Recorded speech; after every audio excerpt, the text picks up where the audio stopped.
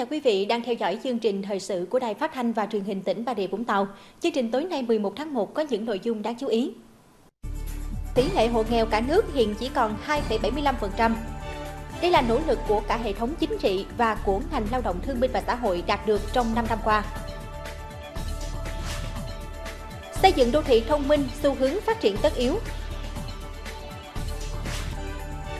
Tết Nguyên đán Tân Sửu 2021 đang cận kề, trước một năm nhiều khó khăn do ảnh hưởng của dịch Covid-19.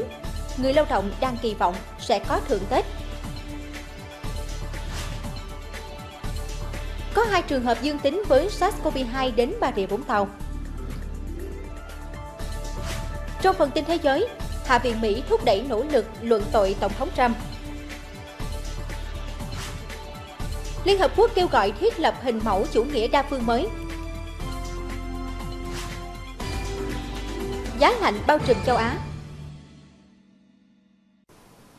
Bây giờ là nội dung chi tiết. Thưa quý vị, chiều nay ông Phạm Viết Thanh, Ủy viên Trung ương Đảng, Bí thư tỉnh ủy đã có buổi tiếp bà Mary Cedar Tổng lãnh sự quán Hoa Kỳ tại thành phố Hồ Chí Minh, có chuyến thăm và làm việc tại tỉnh. Tại buổi tiếp Tổng lãnh sự quán Hoa Kỳ tại thành phố Hồ Chí Minh, ông Phạm Viết Thanh, Ủy viên Trung ương Đảng, Bí thư tỉnh ủy đã giới thiệu những tiềm năng thế mạnh và tình hình kinh tế xã hội của tỉnh Bà Rịa Vũng Tàu. Trong đó, Bí thư tỉnh ủy nhấn mạnh đến quan điểm phát triển bền vững và tập trung vào bốn mũi nhọn kinh tế của tỉnh Bà Rịa Vũng Tàu, đó là công nghiệp, cảng biển, du lịch và nông nghiệp ứng dụng công nghệ cao. Tính đến nay, Hoa Kỳ có 11 dự án đầu tư vào Bà Rịa Vũng Tàu với tổng vốn đầu tư khoảng 4,3 tỷ đô la Mỹ, là quốc gia có vốn đầu tư lớn thứ hai tại tỉnh. Bí thư tỉnh ủy chia sẻ thông tin trong 5 năm tới, khi sân bay Long Thành đi vào khai thác sẽ tạo thuận lợi cho sự phát triển kinh tế xã hội của Bà Rịa Vũng Tàu. Do đó, tỉnh kỳ vọng bà Marie Damour với cương vị Tổng lãnh sự quán Hoa Kỳ tại thành phố Hồ Chí Minh sẽ là cầu nối thúc đẩy mối quan hệ hợp tác giữa Bà Rịa Vũng Tàu với các nhà đầu tư Hoa Kỳ ở các lĩnh vực năng lượng, cảng nước sâu, y tế, giáo dục, dân dân. Bà Marie Damour khẳng định Hiện nay, có rất nhiều doanh nghiệp Hoa Kỳ mong muốn được đến đầu tư tại Bà Rịa Vũng Tàu trên tất cả các lĩnh vực kinh tế, nhất là việc phát triển khí hóa lỏng, nhân lực chất lượng cao, du lịch.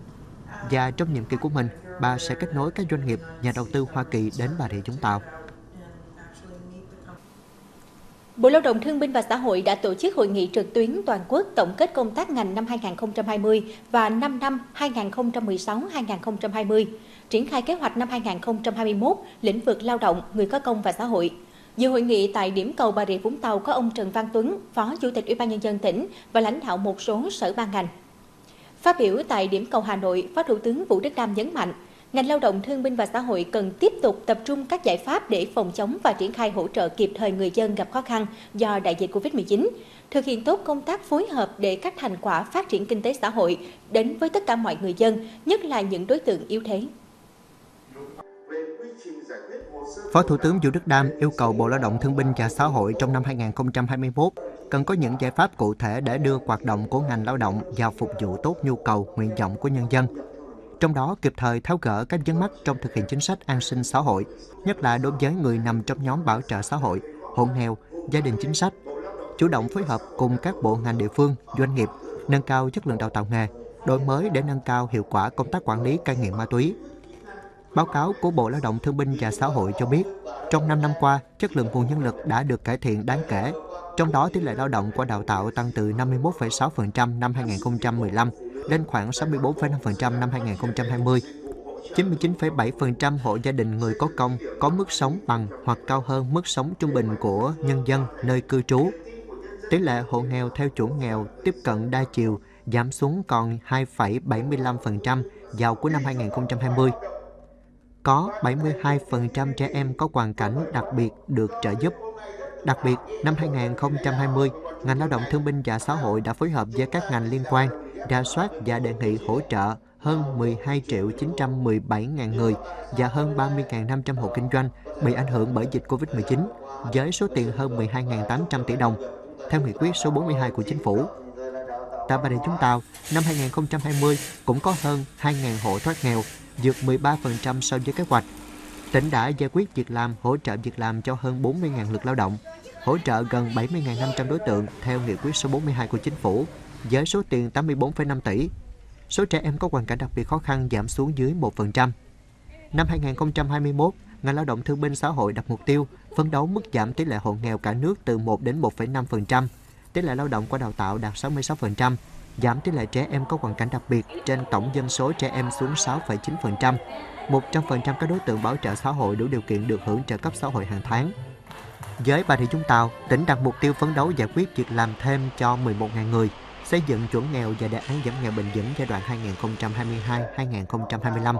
Phấn đấu đến cuối năm 2021, cơ bản không còn hộ nghèo theo chuẩn tỉnh.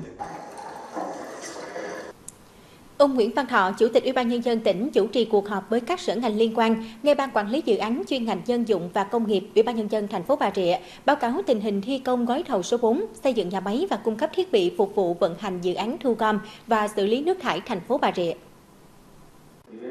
Theo báo cáo của Ban Quản lý Dự án chuyên ngành dân dụng và công nghiệp, gói thầu số 4 xây dựng nhà máy và cung cấp thiết bị phục vụ vận hành dự án thu gom và xử lý nước thải thành phố Bà Rịa do Tổng Công ty Xây dựng Hà Nội thực hiện từ tháng 10 năm 2018 đến nay chỉ đạt khoảng 39% khối lượng. Mặc dù Ủy ban Nhân dân tỉnh đã nhiều lần làm việc và Tổng Công ty Xây dựng Hà Nội cũng cam kết sẽ thúc đẩy tiến độ triển khai, nhưng dự án gần như vẫn chậm chân tại chỗ. Cho ý kiến về vấn đề này, ông Nguyễn Văn Thọ, Chủ tịch Ủy ban Nhân dân tỉnh cho biết, nếu đơn vị thi công, Tổng Công ty Xây dựng Hà Nội gặp khó khăn vướng mắt gì, thì kiến nghị Ủy ban Nhân dân tỉnh tìm biện pháp tháo gỡ. Còn nếu như đơn vị không đủ nguồn lực thực hiện gói thầu, Ủy ban Nhân dân tỉnh sẽ kiên quyết chấm dứt hợp đồng, giao cho đơn vị khác thực hiện. Thưa quý vị, với sự bùng nổ của cuộc cách mạng công nghiệp 4.0, xu hướng xây dựng đô thị thông minh đã trở thành phương thức phát triển tất yếu với việc ứng dụng công nghệ, phương tiện thông minh vào quản lý xã hội nhằm nâng cao chất lượng sống của người dân. Và Bà Rịa Vũng Tàu cũng không nằm ngoài xu hướng này. Với những nỗ lực từ cấp tỉnh đến cơ sở, nền móng đầu tiên của đô thị thông minh tại Bà Rịa Vũng Tàu đã được tạo dựng. Là địa phương đầu tiên được tỉnh lựa chọn xây dựng thí điểm mô hình đô thị thông minh, từ năm 2016, thành phố Vũng Tàu đã xây dựng dịch vụ Wi-Fi miễn phí với 8 trạm phát sóng tại khu vực bãi trước, có khả năng đáp ứng hơn 1.000 người truy cập Internet miễn phí mỗi ngày. Dịch vụ này giúp cho người dân và du khách dễ dàng truy cập thông tin về các dịch vụ công cộng, kinh tế, xã hội, giải trí, du lịch cũng như tìm hiểu về sự kiện của tỉnh. Sau nhiều năm chuẩn bị, giữa tháng 12 năm 2020, Trung tâm điều hành đô thị thông minh của thành phố Vũng Tàu đã chính thức khai trương đi vào hoạt động tại số 45 Ba Cu, phường 1, thành phố Vũng Tàu. Trung tâm điều hành sẽ tiếp nhận thông tin từ nhiều phương thức khác nhau như qua camera giám sát, ứng dụng di động, website, mạng xã hội, để từ đó giúp cho cơ quan chức năng, đơn vị của thành phố đưa ra giải pháp xử lý, các quyết định điều hành nhanh chóng, chính xác, trong giai đoạn đầu, trung tâm vận hành thí điểm một số dịch vụ đô thị thông minh thuộc lĩnh vực du lịch, hành chính công và y tế. Từ quý 2 năm 2021 đến năm 2022 sẽ tiếp tục triển khai một số dịch vụ đô thị thông minh thuộc lĩnh vực quản lý đô thị, tài nguyên môi trường, mở rộng các tiện ích, bổ sung các tính năng của dịch vụ đô thị thông minh đã triển khai giai đoạn 1. Trung tâm giám sát điều hành đô thị thông minh của thành phố với các hạng mục chính hệ thống nền tảng trung tâm điều hành thông minh tích hợp 50 camera an ninh, các camera giao thông, ứng dụng phản ánh công dân, ứng dụng quản lý thông tin trên không gian mạng, hệ thống an toàn thông tin, ứng dụng quản lý lưu trú, hệ thống cảnh báo cháy thông minh. Ngoài ra, trung tâm IOC cũng cho phép tích hợp hiển thị lên các ứng dụng hành chính công, quản lý tàu cá, trang web thành phố, cổng thông tin du lịch của thành phố, cổng thông tin ngành giáo dục thành phố.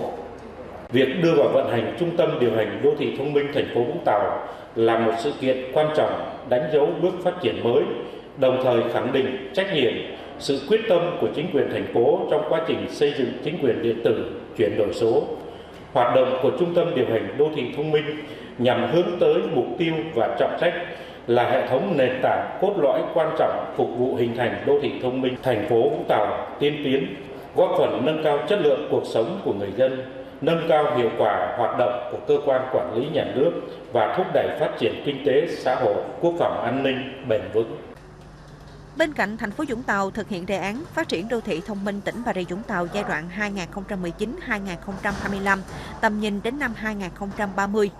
Đến nay, 100% các cơ quan nhà nước từ tỉnh đến xã đã xử lý văn bản hoàn toàn trên mạng Internet thông qua phần mềm e-office và liên thông văn bản 4 cấp từ cấp xã đến chính phủ tích hợp chữ ký số trong xử lý văn bản. 100% phường, xã, huyện, thành phố ứng dụng phần mềm một cửa điện tử trong tiếp nhận và xử lý hồ sơ thủ tục hành chính liên thông. Các cơ quan nhà nước từ cấp tỉnh đến cấp xã đã được cấp phát hơn 8.000 tài khoản người dùng. Từ đầu năm 2020, Ủy ban Nhân dân tỉnh cũng đưa vào vận hành Cổng Dịch vụ Công trực tuyến tỉnh Bà Rịa Vũng Tàu và kết nối đồng bộ với Cổng Dịch vụ Công Chính phủ. Trong đó, công khai việc tiếp nhận, giải quyết hồ sơ thủ tục hành chính của từng cá nhân, tổ chức trên môi trường trực tuyến. Đến ngày 15 tháng 10 năm 2020, Ủy ban Nhân dân tỉnh cũng chính thức đưa Trung tâm Phục vụ Hành chính công vào hoạt động tại số 4 đường Phạm Văn Đồng, phường Phước Trung, thành phố Bà Rịa. Hiện nay, hầu hết dịch vụ công của các cơ quan hành chính cấp tỉnh đều hiển thị trên cổng dịch vụ công trực tuyến của tỉnh tại địa chỉ dịch vụ công bà rịa gạch ngang vũng tàu cov vn hoặc cổng dịch vụ công quốc gia theo địa chỉ dịch vụ công cov vn còn dịch vụ công trực tuyến của các huyện, thị xã, thành phố được cung cấp trên cổng thông tin của từng địa phương. Người dân tổ chức khi có nhu cầu chỉ cần đăng nhập, đăng ký là có thể sử dụng. Sự phù hợp nhất quán trong chỉ đạo điều hành của chính quyền địa phương và cơ quan trung ương, sự đồng lòng chung sức, nỗ lực của tập thể cán bộ trong toàn tỉnh đã luôn quyết tâm thực hiện các giải pháp về nâng cao năng lực, cải thiện chất lượng điều hành, tạo lập môi trường đầu tư kinh doanh của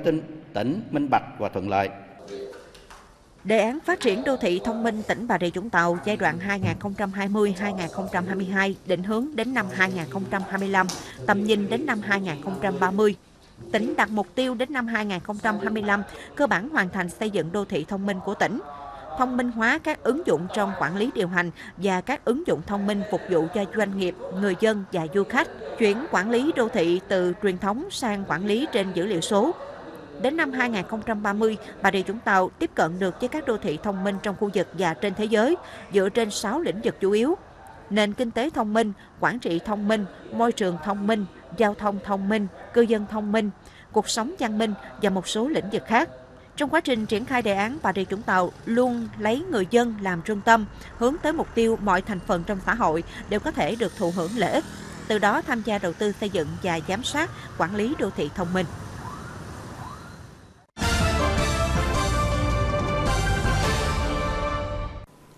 Chương trình thời sự tối xin chuyển sang các thông tin khác. Thưa ủy quyền của Bộ Tư lệnh Bộ đội Biên phòng, Bộ Chỉ huy Bộ đội Biên phòng tỉnh Bà Rịa Vũng Tàu đã công bố và trao quyết định của Bộ Tư lệnh Bộ đội Biên phòng điều động 50 sĩ quan quân nhân chuyên nghiệp và chiến sĩ thuộc Bộ đội Biên phòng tỉnh Bà Rịa Vũng Tàu tăng cường làm nhiệm vụ quản lý bảo vệ biên giới và tham gia phòng chống dịch COVID-19 tại khu vực biên giới tỉnh An Giang. Lãnh đạo Bộ đội Biên phòng tỉnh Bà Rịa chúng ta đã biểu dương tinh thần trách nhiệm của cán bộ chiến sĩ đã viết đơn tình nguyện sẵn sàng làm nhiệm vụ phòng chống dịch Covid-19 tuyến biên giới Việt Nam Campuchia do Bộ đội Biên phòng An Giang quản lý. Tết Nguyên đán Tân Sửu 2021 đang cận kề. Để đảm bảo cho người dân vui xuân đón Tết, lãnh đạo Bộ đội Biên phòng tỉnh đề nghị cán bộ chiến sĩ biên phòng Bà Rịa Vũng Tàu phát huy những kết quả đã đạt được sau hai lần tăng cường tham gia phòng chống dịch Covid-19 tại An Giang – trong quá trình thực hiện nhiệm vụ, phải nêu cao tinh thần trách nhiệm, giữ mối quan hệ đoàn kết, gắn bó với nhân dân địa phương, tích cực tuyên truyền cho nhân dân biên giới hiểu rõ mức độ nguy hiểm của dịch Covid-19 để chủ động phòng ngừa, ngăn chặn, không cho dịch bệnh xâm nhập vào Việt Nam. Nhằm động viên tinh thần cán bộ chiến sĩ đang làm nhiệm vụ trên vùng biển phía Nam của Tổ quốc nhân dịp Tết Nguyên đán Tân Sửu 2021, sáng nay đoàn công tác của tỉnh ủy, Hội đồng nhân dân, Ủy ban nhân dân, Ủy ban Mặt trận Tổ quốc tỉnh Bà Rịa Vũng Tàu đã đến thăm trao quà cho tiểu đoàn JK1, Bộ Tư lệnh vùng 2 Hải quân đóng tại xã Long Sơn, thành phố Vũng Tàu. Đến thăm lãnh đạo tiểu đoàn JK1, Bộ Tư lệnh vùng 2 Hải quân, đoàn công tác của tỉnh Bà Rịa Vũng Tàu đã gửi lời chúc các cán bộ chiến sĩ đang công tác tại tiểu đoàn và trực sẵn sàng chiến đấu trên các nhà giàn JK1 thêm lục địa phía Nam, luôn mạnh khỏe, vui xuân mới không quên nhiệm vụ bảo vệ vững chắc chủ quyền biển hải đảo của Tổ quốc. Dịp này, đoàn công tác của tỉnh gửi tặng 17 phần quà của tỉnh ủy, Hội đồng Nhân dân, Ủy ban Nhân dân, Ủy ban Mặt trận Tổ quốc tỉnh cho 17 nhà giàn JK1. Mỗi phần quà trị giá 11,5 triệu đồng, bao gồm các nhu yếu phẩm thiết yếu, tiền mặt với tổng giá trị gần 200 triệu đồng. Những phần quà này sẽ được tiểu đoàn cho cán bộ chuyển đến các nhà giàn trước Tết Nguyên đán Tân Sửu 2021 nhằm góp phần mang đến một cái Tết ấm cúng hơn cho chiến sĩ, cán bộ đang làm nhiệm vụ trên biển. Thưa quý vị, Tết âm lịch 2021 đang đến rất gần. Điều quan tâm lớn nhất của nhiều lao động thời điểm này chính là tiền thưởng. Sau một năm làm việc vất vả cùng nhiều khó khăn do tác động của dịch Covid-19, người lao động đang rất kỳ vọng vào tiền thưởng cuối năm để có một cái Tết đầm ấm hơn. Ghi nhận của phóng viên thời sự. Công ty cổ phần Pacific 2 hiện có gần 300 lao động. Do chủ động thành lập các quỹ phúc lợi để chăm lo cho người lao động ngay từ đầu năm 2020, nên dù chịu ảnh hưởng của dịch Covid-19, nhưng việc thưởng Tết của công ty vẫn không bị ảnh hưởng. Theo lãnh đạo công ty, Tết Nguyên đán Tân Sửu này, mỗi lao động sẽ được thưởng 1,3 tháng lương, cao hơn 15% so với cùng kỳ. Dịch Covid thì chỉ làm tăng chi phí của doanh nghiệp chứ không làm tăng cái Ờ, không làm giảm cái quyền lợi của người lao động và chúng ta biết rằng là ờ, doanh nghiệp một trong những yếu tố mà doanh nghiệp có thể sống được đó là phải có người lao động vì thế cho nên là đường nào thì doanh nghiệp cũng phải bảo vệ người lao động nếu mà chúng ta không chăm lo tốt cho người lao động thì dĩ nhiên họ sẽ bỏ chúng ta mà đi thôi. Sau khi dịch Covid-19 được kiểm soát, nhiều doanh nghiệp ngành may mặc và giày da đã nhanh chóng lấy lại phong độ với việc có nhiều đơn hàng hơn. Theo khảo sát sơ bộ của công đoàn các khu công nghiệp, doanh nghiệp ngành dệt may và giày da cơ bản đều thưởng Tết cho người lao động bằng tháng lương thứ 13. Đáng lưu ý, nhiều doanh nghiệp còn có mức thưởng Tết cao hơn so với năm 2019. Công nhân là quá quá vui luôn chứ không phải là một vốn gì một người mọi năm là cứ một tháng lương 13 nhưng năm nay thêm một thêm là 20 ngày công năm ngoái thì cho ít hơn nhưng mà cũng trẻ hơn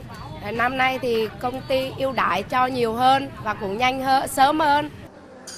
Năm 2020 là một năm đặc biệt khó khăn với ngành du lịch. Tuy nhiên, nhiều doanh nghiệp vẫn nỗ lực đảm bảo đời sống cho người lao động, nhất là nỗ lực thưởng Tết nhằm giữ chân nhân viên. Năm vừa rồi thì à, toàn bộ ngành du lịch của mình đó thì ở đâu mình cũng gặp khó khăn hết. Và không chỉ riêng công ty em thì công ty em cũng ờ, cũng khó khăn à nhưng mà tập thể ban lãnh đạo người ta cũng hỗ trợ cho toàn bộ nhân viên để công việc làm thì cũng ổn định lương thì mình cũng nhận đều ha và trong dịp ờ, tới này thì ờ, anh em vẫn có lương tháng 13 vẫn duy trì ờ, như mọi năm thôi ạ. Theo Sở Lao động Thương binh và Xã hội, Năm nay do ảnh hưởng của dịch Covid-19 nên phải đến cuối tháng 1 năm 2021, ngành mới tổng hợp được tình hình thưởng Tết và kế hoạch chăm lo Tết cho người lao động của các doanh nghiệp. Đồng thời, tuyên truyền, vận động để người lao động, người sử dụng lao động cùng nhau chia sẻ khó khăn trong bối cảnh bị tác động bởi đại dịch Covid-19. Theo Bộ luật lao động mới, thay vì chỉ thưởng bằng tiền thì người sử dụng lao động có thể thưởng bằng hiện vật hoặc dịch vụ căn cứ vào kết quả sản xuất kinh doanh, mức độ hoàn thành công việc của người lao động dù thưởng Tết không phải là quy định bắt buộc, nhưng từ lâu đã trở thành quy định hầm giữa doanh nghiệp và người lao động. Nếu có hình thức thưởng phù hợp, doanh nghiệp sẽ động viên khuyến khích người lao động nỗ lực hơn trong sản xuất và gắn bó với doanh nghiệp, cùng thúc đẩy doanh nghiệp phát triển.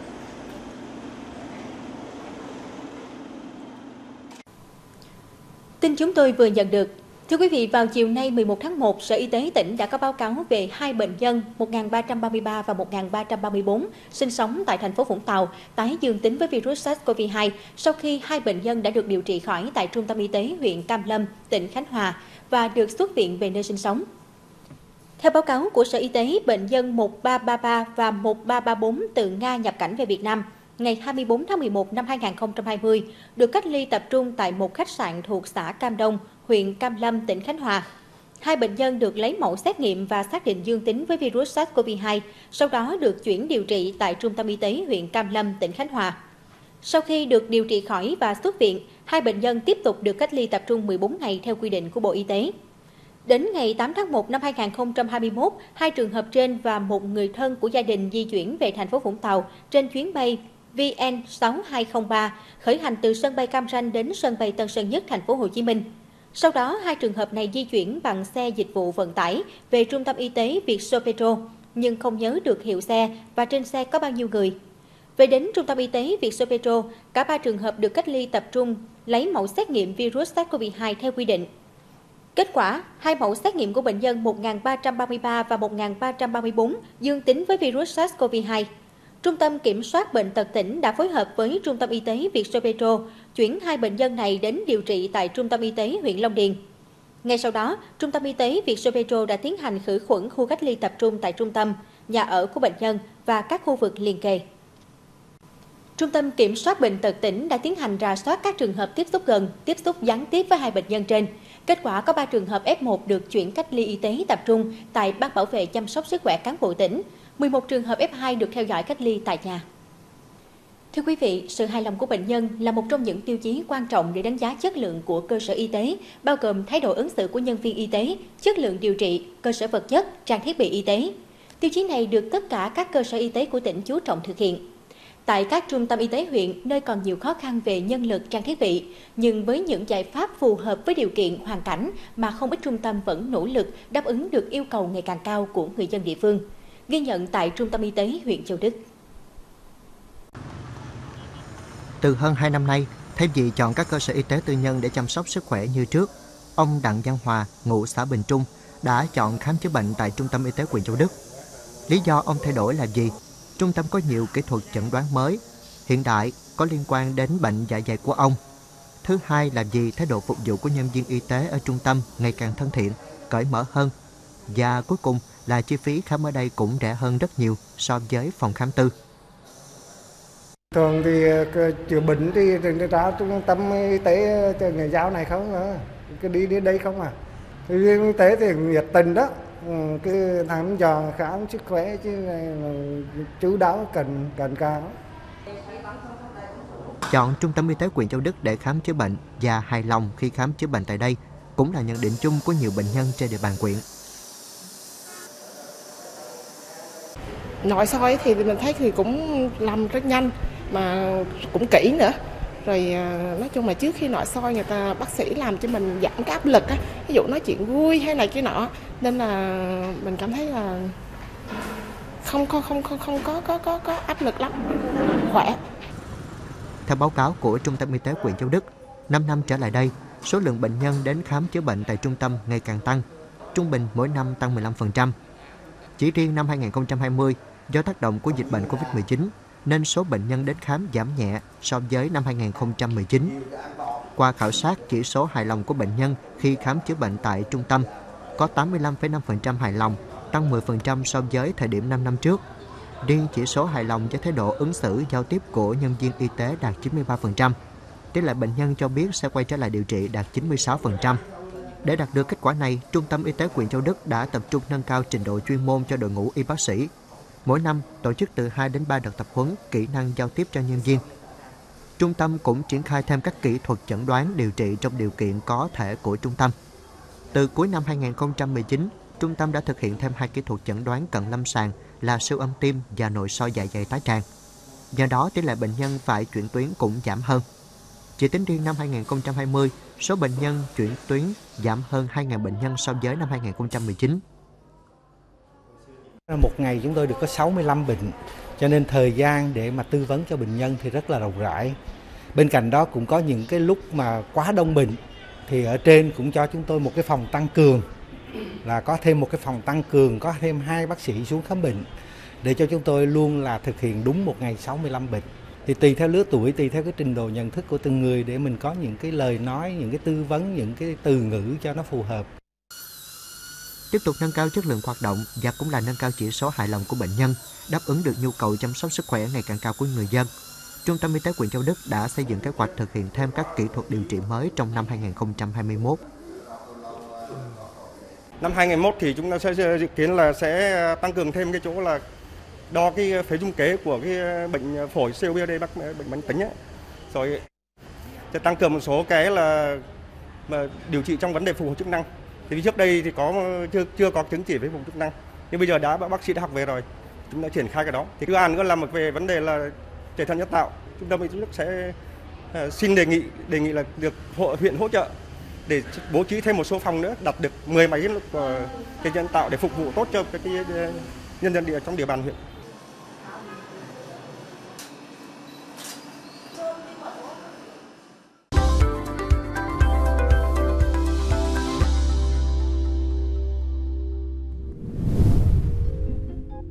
Báo thời tiết tỉnh Bà Rịa Vũng Tàu đêm 11 tháng 1. Hiện tại, một đợt không khí lạnh mới được tăng cường xuống các tỉnh miền Bắc gây mưa, rét đậm, rét hại cho các khu vực này. Bộ phận không khí lạnh này cũng đang tiếp tục tăng cường xuống phía Nam, khiến cho nền nhiệt về đêm giảm khoảng 1 đến 2 độ so với những ngày qua, thấp nhất từ 20 đến 22 độ. Ngày mai toàn tỉnh tiếp tục duy trì trời nắng, hanh khô và không mưa. Nhiệt độ cao nhất dao động từ 29 đến 31 độ.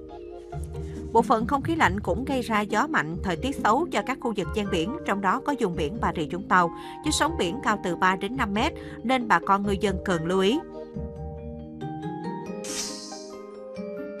Khu vực thành phố Vũng Tàu mây thay đổi, đêm nay trời không mưa, đêm và sáng sớm trời xe lạnh, ngày mai trời nắng. Gió đông đến đông bắc cấp 2, cấp 3, có lúc cấp 4. Nhiệt độ thấp nhất từ 20 đến 22 độ, nhiệt độ cao nhất từ 28 đến 30 độ. Độ ẩm tương đối 68 đến 73%.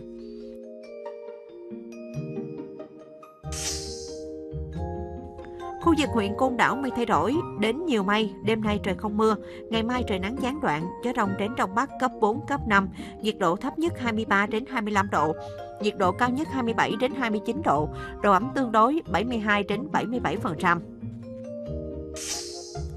Do chịu tác động của không khí lạnh nên thời tiết vùng biển Vũng Tàu Côn Đảo chuyển xấu, có mưa rào và dông và kèm theo gió giật mạnh và lốc xoáy trong cơn dông. Tầm nhìn xa trên 10 km, giảm xuống từ 4 đến 10 km trong mưa. Trên biển, gió đông bắc cấp 7, giật cấp 8, cấp 9, biển động mạnh, sóng biển cao từ 3 đến 5 mét. Tại Vũng Tàu ngày 12 tháng 1 năm 2021, mực nước cao nhất 410 cm xuất hiện lúc 14 giờ 15 phút, thấp nhất 80 cm xuất hiện lúc 7 giờ 15 phút. Thông tin dự báo thời tiết đã khép lại chương trình thời sự tối của Đài Phát thanh và Truyền hình tỉnh Bà Rịa Vũng Tàu. Tiếp sau đây là chương trình thời sự của Đài Truyền hình Việt Nam. Mời quý vị theo dõi.